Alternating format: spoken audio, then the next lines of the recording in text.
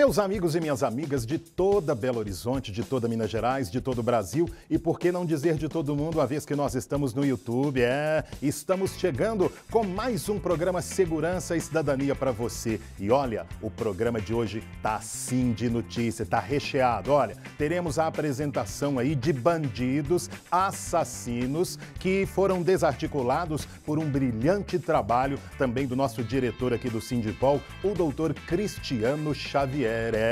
Ele com uma operação policial vai ser destaque aqui no Segurança e Cidadania. Teremos ainda a apresentação de uma matéria que foi gravada no município de Santo Antônio da Serra, ali bem pertinho de Carmo do Cajuru. O pessoal tá andando de moto em cima do passeio, tirando o sossego de velhinhos, velhinhas, pessoas queridas da cidade. Isso vai ser notícia aqui no Segurança e Cidadania, hein? E olha, o Serjusmig é o sindicato que representa aí os servidores de primeira instância na Justiça de Minas Gerais está fazendo uma campanha de valorização dos profissionais do Serjusmig. Então você vai acompanhar isso aqui no Segurança e Cidadania. Eu sou Fábio Rodrigues, com imagens de Pep Chileno, reportagens de Pablo Thiago e a edição de José Roberto Coelho e Rodrigo Braga, está no ar o Segurança e Cidadania. Muito bem, e vamos abrir o nosso programa com a Operação Setembro Negro 2, gerenciada pelo doutor Cristiano Xavier, o nosso delegado e também diretor aqui no Sindipol, que vai mostrar para a gente como esses meliantes, esses verdadeiros bandidos, tiveram aí a parada, eles foram parados por esta operação. Vamos acompanhar. O senhor consegue explicar para a gente qual operação foi essa, onde ela foi desencadeada e o objetivo dela? Essa operação ela levou o codinome Operação Setembro Negro 2, é, foi para desarticular é, gangues responsáveis pelo tráfico de droga e vários crimes de homicídios que aconteceram recentemente no bairro São Benedito, em Santa Luzia. Como é que é essa gangue AG? É uma gangue apenas? É, na verdade, essa gangue ela era comandada por uma pessoa só que foi presa e com a prisão desse traficante houve uma desarticulação desses braços dessa gangue. Né? Então a, começou a ter é, guerra entre elas e espaço para comandar bocas de fumo. Né? Então alguma, uma gangue dessa ficava tentando ocupar a boca de fumo da outra. Então isso acabou ocasionando vários crimes de homicídio e vários crimes de tentativa de homicídio.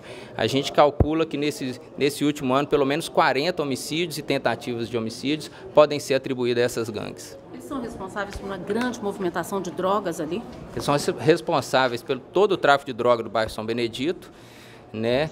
E a gente não tem... É... a gente não tem dúvidas que hoje a gente prendeu os maiores matadores e as pessoas que mais estão contribuindo para o avanço da criminalidade em Santa Luzia. Doutor, com relação às vítimas, todas são desafetas do tráfico, associadas ao crime ou há inocentes também? Não, no meio dessa guerra, vários inocentes né, tombaram e várias, várias vítimas também é, é, sobreviveram. Né? A gente pode citar como exemplo disso, um oficial de justiça que foi baleado no peito durante uma troca de tiro entre um policial militar e um dessas pessoas que é membro dessa gangue. Né? O, o oficial de justiça quanto o policial militar já estão, já estão fora de perigo, mas todos reconhecem a pessoa no envolvimento desse crime. Tem um caso também que o senhor tem, um vídeo de uma outra vítima que não tinha nada a ver com o tráfico, né? Isso, a gente tem aqui uma gravação de um circuito interno de TV, em que três desses criminosos que estão presos aqui hoje, eles aparecem efetuando vários disparos de arma de fogo, 12 disparos acertaram essa vítima, mas ela cons conseguiu sobreviver e foi uma peça fundamental para a gente poder desarticular essa gangue. A gente está acompanhando aqui, doutor, o tempo todo da apresentação, eles não param de conversar lá dentro, a informação chegou para a gente é que um fica ameaçando o outro, dizendo que vai matar. Como é que, é que é o perfil desses que vão ser apresentados aqui? São realmente matadores cruéis, sanguinários? Como é que é o perfil deles? São, a gente não tem dúvida que hoje nós estamos apresentando aqui os maiores matadores de Santa Luzia. Né? É, são duas gangues rivais que atuam ali no São Benedito e um deles é o chefe do tráfico do, de uma região denominada como Caldeirão do Inferno, que é um, uma, uma, um local bastante violento no bairro Palmital. E hoje vocês conseguiram pegar armas ali, munição, que era usada por eles para praticar esses crimes, né? Isso, informações é, bem convincentes chegaram para a gente que esses, essas gangues estavam demonstrando e ostentando é, é, grande poderio bélico lá nas ruas, né? inclusive durante o dia, o uso de metralhadoras e de coletes à prova de bala. Né? A gente não conseguiu encontrar nenhum armamento mais pesado, mas todas essas pistolas são de uso restrito, calibre .40, calibre 9mm, um armamento bastante pesado e que a gente não tem dúvida que será de fundamental importância para a gente provar os homicídios que eles são acusados. É, tem dois que estão ainda foragidos, né, que são realmente aquelas pessoas que comandam o tráfico de droga na região. Essas que estão aqui são um nível abaixo, são gerentes dessas bocas, mas são as pessoas que mais fazem. Né? O Elver, por exemplo, que é um dos que nós vamos apresentar aqui, ele é conhecido como quebra-coco da quadrilha, né? A gente tem informações fidedignas que ele é responsável por pelo menos 10 homicídios nesse ano, homicídios inclusive fora do estado de Minas Gerais. É, ele é responsável também pelo homicídio que aconteceu é, no ano retrasado, em que ele, dentro do cemitério do Belo Vale, lá em Santa Luzia, ele matou uma pessoa que estava lá velando o corpo de um outro integrante de uma gangue rival. Obrigado, doutor Cristiano. Parabéns aí por toda a sua equipe. Hein? É, a gente não trabalha sozinho, né, doutor? Então teve escrivão, teve investigador, né? Teve perito, teve delegado. Muito obrigado. E olha, a Polícia Civil está trabalhando, hein? É isso aí, os linguarudos. Ah, a polícia não está fazendo nada. Não está, não? Então o que, que é isso que nós acabamos de assistir aqui no Segurança e Cidadania? Vamos para um intervalo, daqui a pouco a gente volta. Prime Proteção Veicular promove a família e a busca pela felicidade em pequenos encontros, momentos e experiências. E para viver a vida intensamente, nós protegemos você, sua família e o seu patrimônio. Entre em contato e saiba sobre nossos planos de proteção. Temos certeza que possuímos as melhores condições do mercado. Acesse nosso site www.proteçãoveicular.com.br e nossa fanpage Prime Proteção Veicular. Ou, se preferir, agende uma visita dos nossos consultores pelo telefone 31 3273 7744. Vem com a Prime 24 horas de proteção.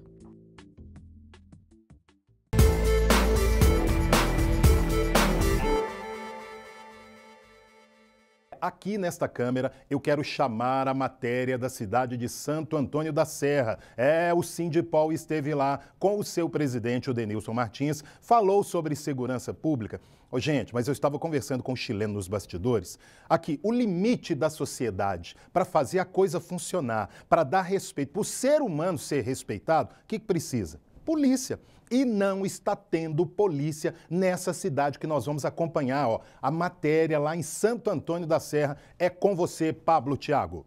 O programa Segurança e Cidadania veio até Santo Antônio da Serra, a 120 quilômetros de Belo Horizonte. Um pequeno povoado com aproximadamente 600 famílias, que dizem que o sossego não mora mais aqui. Tá, fala pra gente, como é que é Santo Antônio da Serra? É uma cidade tranquila? Santo Antônio da Serra é um, uma comunidade que no final de semana está tendo muito problema, sabe assim, com, com moto, com carro de som, com drogas. É, muita droga no final de semana, sabe assim, sexta, sábado. Então é, é o que nós pedimos de segurança aí no final da semana por causa disso. Sabe? Nós fizemos uma assinada, mas foi com poucas assinaturas, sabe? E sempre vem, sempre falando, sabe? Já pedimos quebra-mola na, na, rua, sabe? Mas até agora ainda não foi nada resolvido, sabe? Meu nome é Laudermir Gonçalves, Sou frequentador assíduo aqui do, do, município de Santo Antônio da Serra, e onde o povo é sacrificado com a questão da, da, da, da segurança pública presente, né, ou às vezes ausente aqui no município. E assim, é, o senhor sente a insegurança? O senhor falou que frequenta aqui muito, né? As pessoas reclamam muito da perturbação do sossego. E a quem eles devem recorrer? Como é que acontece quando acontece essa perturbação com a comunidade? Bom, a perturbação aqui, ela é, é às vezes à noite, às vezes final de semana. É, tem às vezes adolescente que andam empinando motos, não respeitam sinalização, até porque não existe sinalização nas ruas, mas passam em cima de passeios, arriscando atropelar crianças, idosos, é, fazem barulhos com carros de som em alto, alto volume, prejudicando o sossego de moradores que moram é, é, à beira da rua. E às vezes os moradores procuram corrigir né, esses atos e as pessoas envolvidas é, nesse, nessas algazarras acabam é, trazendo mais transtornos ainda. Nós vimos que essas são as perturbações, são as reclamações dos vizinhos, bem tranquila, né? Coisas assim, entre aspas, fácil de resolver. O difícil é quem recorrer, né? Exatamente. O problema é que no município ela não dispõe, né? Aqui em Santo Antônio da Serra não tem uma delegacia, não tem um posto da Polícia Militar e às vezes quando é acionada, por ser distante do povoado, que a, a, central está em Carmo Cajuru. Às vezes demora duas horas, uma hora. Quando a, às vezes o policiamento chega, quando vem, às vezes o infrator nem está no local mais, já foi embora. Muito obrigado, Pablo. Obrigado, Denilson Martins. Obrigado também ao Laudermi Gonçalves, essa grande figura humana que nos pautou aí com esta matéria. Gente, e tá precisando sim, hein? O Sindipol esteve lá, fará um documento que vai ser enviado para as autoridades competentes. Agora, a gente quer que essa competência ela se materialize, ou seja, receber o documento. A gente está faltando polícia lá nessa cidade de Santo Antônio da Serra. Vamos mandar polícia, vamos criar lá uma delegacia de polícia, ou vamos mandar lá uma equipe da Polícia Militar. O que não pode, desculpa a expressão jocosa que eu vou usar aqui agora, é esses jovens ficarem empinando moto lá em cima de passeio, torrando a paciência dos nossos velhinhos. Por favor, tem que ter polícia num lugar desse. Aguardamos aí as providências, viu, autoridades? Continuamos com o Segurança e Cidadania, que faz agora uma pausa para um pequeno intervalo e daqui a pouco tem mais matéria para você.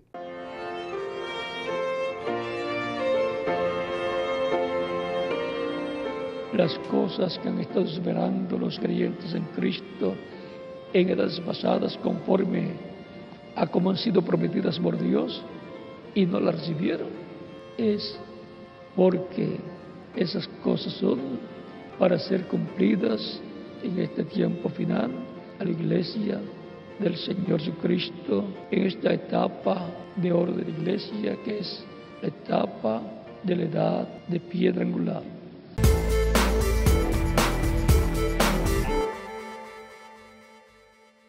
Voltamos com o Segurança e Cidadania para você aqui pela Band, canal 7, Minas Gerais, Belo Horizonte. E olha, vamos agora mostrar para você aqui no Segurança e Cidadania o trabalho do Sérgio Smig e o trabalho do Sinfaz. Como eu disse na abertura do programa, é um investimento tá, que está sendo feito de valorizar o profissional do, da justiça de primeira instância. E como que é isso, Fábio? Olha, a mídia tem que ser valorizada. Quando a mídia é valorizada, automaticamente quem está nela, no caso aí uma categoria como o Sejus MIG, está sendo valorizado. Então vamos acompanhar esse trabalho apresentado agora aqui no Segurança e Cidadania com a participação do Sejus MIG e do Sinfaz. Presidente, nós estamos tendo ciência que o Serjus MIG está buscando aí valorizar o servidor do judiciário. Como vai ser essa valorização? Então, Fábio, nós queremos fazer uma ampla campanha de esclarecimento junto à sociedade. Nós temos percebido, é, quase que nacionalmente, né, um trabalho de desvalorização do servidor. É como se o servidor não fosse essencial para o funcionamento da máquina judiciária. E, o, e sem o servidor não há justiça.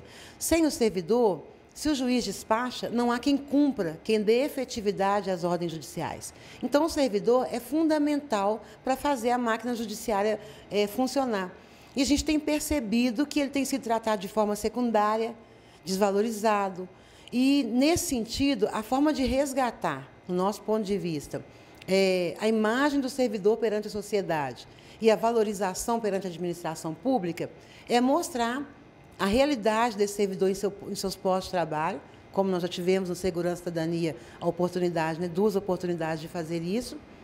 E agora nós vamos mostrar o que desempenha o papel, a função, o volume de serviço de cada trabalhador, de cada especialidade. Então nós temos aí o oficial de apoio, o oficial judiciário, o comissário da infância e da juventude, o agente judiciário, o assistente social, né, o escrivão, o psicólogo. E então nós vamos mostrar qual é o papel de cada um e, a partir disso, demonstrar a essencialidade do servidor no funcionamento do Judiciário Mineiro.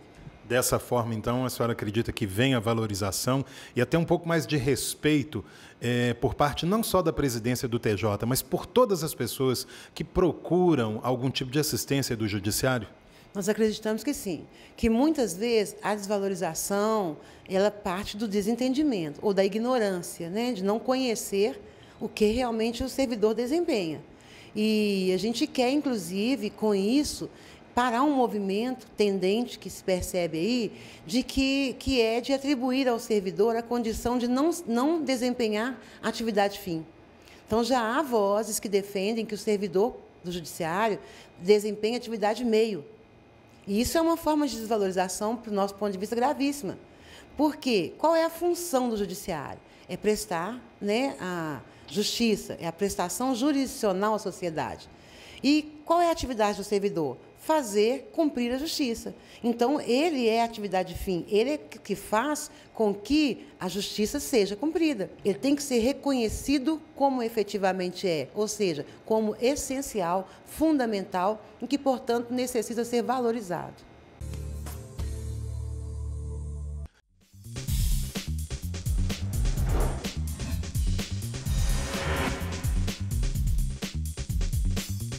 Boa noite! Começamos agora mais um Momento Recivil. Você sabe qual a importância do seu nome para a garantia dos seus direitos e para a vida em sociedade? O nome pode ser muito mais importante do que a gente imagina.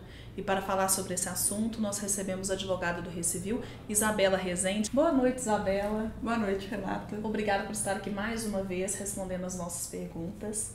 A gente sabe que o nome é um dos bens mais importantes que o ser humano carrega, né? Mas qual a relevância jurídica dele para a vida em sociedade? É através do nome que a pessoa, seja ela física ou jurídica, se reconhece, se apresenta pelo mundo jurídico. No programa de hoje vamos tratar especificamente do nome da pessoa física.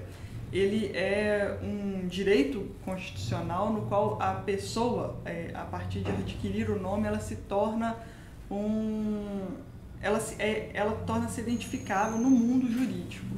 E a escolha desse nome, ela é livre? A gente sabe que tem alguns casos que aparecem no noticiário é, de nomes que não foram aceitos no cartório ou de outros nomes que são diferentes. É, é, os pais têm essa escolha livre do nome? Exatamente, os pais não têm essa escolha livre do nome. É, o artigo 55 da Lei de Registros Públicos ela é, veda ao registrador lavrar o registro de nomes vexatórios. Então, aqueles nomes que venham expor ao ridículo o filho registrado, ele será no primeiro momento vetado pelo registrador e se os pais ainda insistirem naquele nome, o registrador levará ao conhecimento do juiz para que assim lá seja definido se aquele nome é apto a registro ou não. A gente sabe Isabela, é interessante citar isso, que existem alguns nomes que, porque essa questão de ser vexatório ou ser um nome esdrúxulo era muito é, difícil de se definir. O que, o que às vezes para mim é vexatório para você não é. Então, às vezes a gente vê casos que o pai insiste em colocar aquele nome. Então, ainda tem esse caminho aí do juiz, né? Exatamente. Né? A gente não tem uma delimitação do que seria o nome correto e o incorreto para o filho, melhor ou pior. Então, paira o bom senso, antes de mais nada, para o registrador. E quanto à escolha do sobrenome, Isabela? Existe uma ordem ou os pais podem escolher, podem misturar os nomes ali? Com relação ao sobrenome, ele já tem um pouco mais de restrição é, é, com relação aos prenomes. O sobrenome, é, a, toda pessoa ela tem direito ao sobrenome da família materna e da família paterna. Não podendo, por exemplo, é, eu registrar meu filho com o sobrenome de um conhecido ou de um amigo. O sobrenome tem que ser da família do pai e da mãe. É, lembrando que é da família e não tão somente do pai e da mãe. Então, por exemplo, a criança pode ter em seu, é, na composição do seu nome um sobrenome de um bisavô, de um tataravô, do avô, desde que seja possível provar, mediante documentos, aí seria pela certidão de nascimento dos ancestrais, de que aquele nome, aquele, aquele sobrenome, é, perten pertence a alguém daquela família. Com relação à ordem dos sobrenomes, não há nenhuma regra pode vir o sobrenome do pai ou da mãe primeiro, não tem nenhuma regra é, com relação à utilização dos sobrenomes. E mesmo com todo esse cuidado, Isabela, a gente sabe que tem muita gente aí que não gosta do nome que tem. Tem jeito de mudar? Sim, é possível mudar. Não é tão fácil mudar, mas há a possibilidade. A gente tem aí uma previsão é, na legislação de que ao atingir a maioridade, ao completar 18 anos, a pessoa tem até um ano, tem o prazo, o período de um ano, para requerer judicialmente a alteração do seu nome, do seu prenome, o primeiro nome no qual ela é conhecida. Essa é a primeira hipótese. Existem outras hipóteses não mais comuns, como por exemplo, quando a pessoa é testemunha em crime judicial e daí em diante está sofrendo algum tipo de ameaça ou algo do tipo e é determinado também judicialmente a alteração do seu prenome. Lembrando que a regra é que o nome não seja alterado, mas existe sim hoje na legislação essas hipóteses de alteração do prenome. Isabela, a gente sabe que hoje não é obrigatório mais a inclusão do sobrenome do cônjuge no casamento, mas isso ainda acontece muito. No caso do divórcio, se a pessoa quiser continuar usando o sobrenome do cônjuge, isso é possível? Pode sim. Com relação ao casamento, é, tanto o, o marido quanto a esposa, eles têm a opção de acrescer o sobrenome do outro. É, lembrando que isso não, é, não é um direito somente da mulher, tanto do homem quanto da mulher, e ao divorciar, eles também têm a opção de manter. É, no, no, decorrer do divórcio, seja ele judicial ou extrajudicial, será discutido se os cônjuges voltam a usar o nome solteiro ou se eles vão manter o nome de casados. Ali ficará definido e, se definido for, eles podem continuar a usar por toda a vida o sobrenome do ex-marido ou da ex-esposa. E a questão dos apelidos? A gente sabe que tem muita gente que é conhecida pelo apelido, como a Xuxa, o Lula, e eles conseguiram inserir esses apelidos nos nomes mesmo. Como que isso funciona? Correto. A legislação também prevê que o prenome seja alterado em virtude dos apelidos. Se a pessoa for é, conhecida por aquele apelido, ela pode alterar inclusive o seu prenome. Isso não é muito comum é, aqui no nosso país. O que mais acontece, como você citou, é, de exemplo com a Xuxa e com Lula, é acrescentar no decorrer do nome aquele apelido no qual a pessoa é conhecida. Foi, o caso tanto da, do Lula quanto da Xuxa. Então, ou seja, ao invés de alterar o prenome, eles acrescentam no decorrer do sobrenome aquele apelido que eles são né, conhecidos na sociedade. Isabelle, falando aí da importância de você ter esse nome, e aqui eu estou falando do nome completo, né, o prenome com o sobrenome. A gente acompanhou uma notícia recente de uma moça que requereu na justiça que se retirasse o sobrenome paterno do nome dela é, em função do abandono afetivo desse pai. Isso hoje já é possível, né? Sim, é possível. A legislação não trata disso, não tem nada é, que é, tenha legislado nesse sentido. Quanto dos tribunais, a gente já tem hoje uma vastidão de decisões nesse sentido.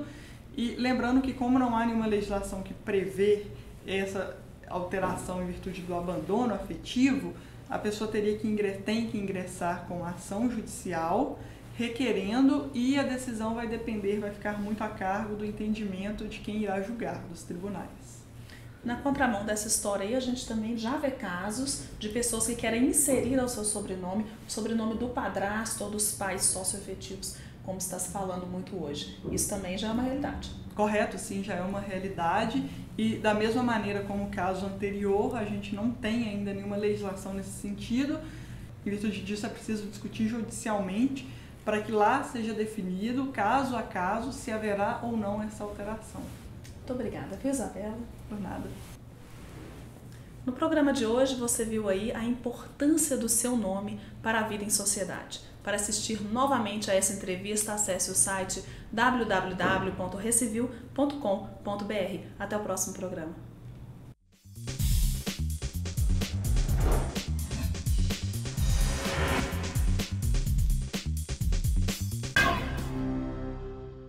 Estamos aqui uh, dando continuidade à série de programas uh, do, dentro do programa Segurança e Cidadania com Denilson Martins.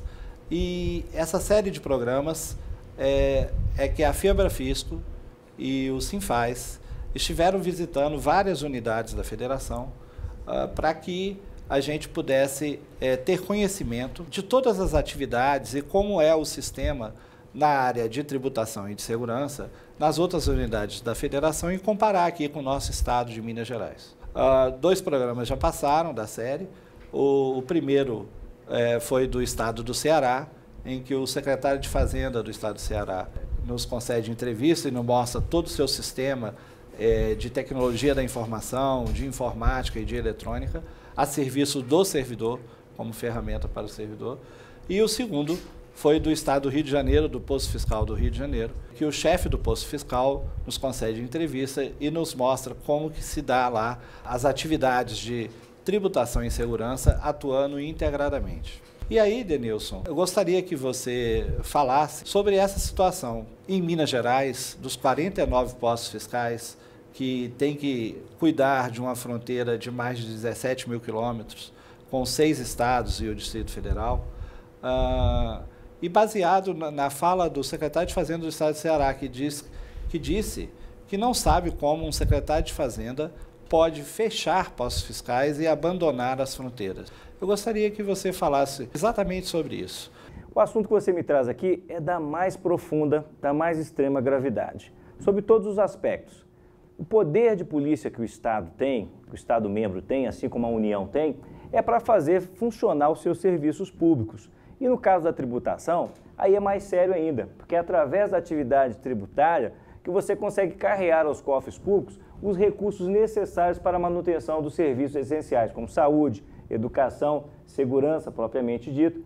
E é lamentável que o governo do Estado de Minas Gerais, ao longo desses últimos 12 anos, o que ele pôde fazer foi vulnerabilizar, fragmentar e, mais do que isso, sucatear toda a estrutura fiscal e o poder de polícia de arrecadação do nosso Estado. Enquanto outros estados, como o Rio de Janeiro, muito bem foi mostrado por vocês aí no programa da, do, da semana passada, assim como o Ceará também, aplicou estratégias é, ferramentário mais, mais técnico, mais científico para a atividade fiscal e até respeitando a privacidade do cidadão, a dignidade da pessoa humana, é, aqui em Minas Gerais está se julgando por terra toda essa capacidade jurídica e constitucional que se tem. Se não vejamos, quando você permite que haja uma fragmentação da estrutura fiscal, você está favorecendo ao crime organizado.